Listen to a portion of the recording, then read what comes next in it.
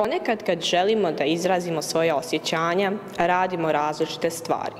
Kada želim da kažem da sam srećna, tužna, ljuta, vesela, da se osjećam dobro ili loše, ja crtam. Dok sam crtala svoj portret u budućnosti, bila sam zbunjena, jer nisam znala da li u stvari želim odrasti ili želim zauvijek da ostanem dijete. Razmišljam o tome kakva me budućnost čeka, šta ću raditi u životu, čime ću se baviti i kakva ću osoba postati.